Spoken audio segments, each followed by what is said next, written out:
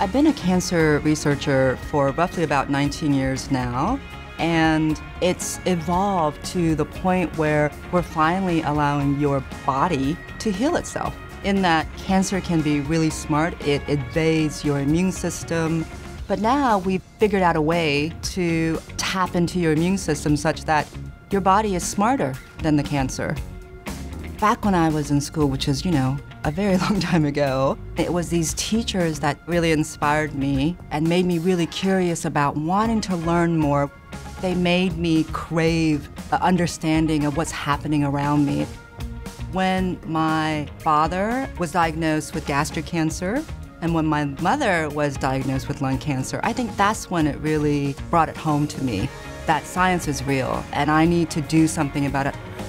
In the last 20 years, I've seen lots of dynamic movements in the biotech and pharmaceutical world, and also in the academic setting as well. Science is really about evolving, learning from the past, moving forward, and you need to adapt that for yourself. That flexibility will keep you very current. I've hired probably about 200 people in my lifetime, and so I'm always looking at technical skills. But what I find is that if you have the aptitude, technical skills can be taught. It's the attitude.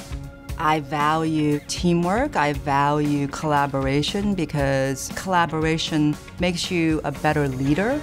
That willingness to work with others, that wanting feedback, having the flexibility to look at it from a different point of view, those things are really hard to build.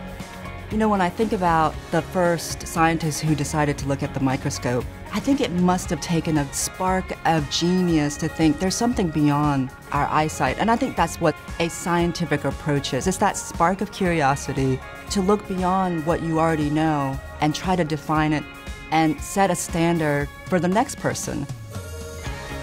If I had one wish for the youth of the world, go beyond the me culture. Don't just think about yourself. Think about what you can add to your environment, your work, your social being, what you can add to your community.